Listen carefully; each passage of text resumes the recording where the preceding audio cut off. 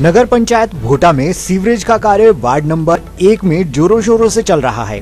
इस सीवरेज योजना के तहत सभी वार्डों में सीवरेज योजना की पाइपें बिछाई जाएँगी। नगर पंचायत भोटा में सात वार्ड हैं, जिसका फ़ायदा सभी वार्ड वासियों को मिलेगा। सीवरेज योजना यहाँ के सभी वार्ड वासियों का सपना रहा है जो जल्द ही पूरा होने वाला है। इस सीवरेज योजना के तहत आठ दशमलव आठ नौ करोड़ रुपए खर्च होंगे।